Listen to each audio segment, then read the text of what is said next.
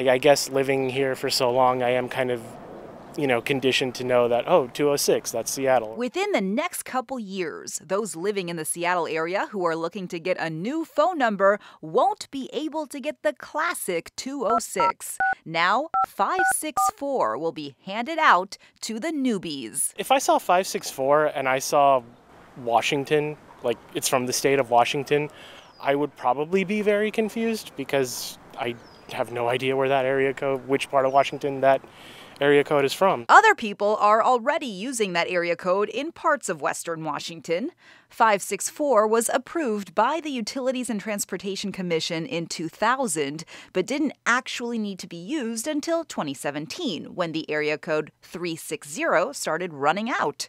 Some people living in Seattle say while older area codes add a certain credibility, it doesn't really change much. You, you can have it 907 and you can live in Miami, so like it doesn't have the same meaning anymore. Don't worry if you already have a 206 number, your current number won't change. The plan is to have the new phone number options ready to go in the next nine months ahead of when 206 is expected to run out.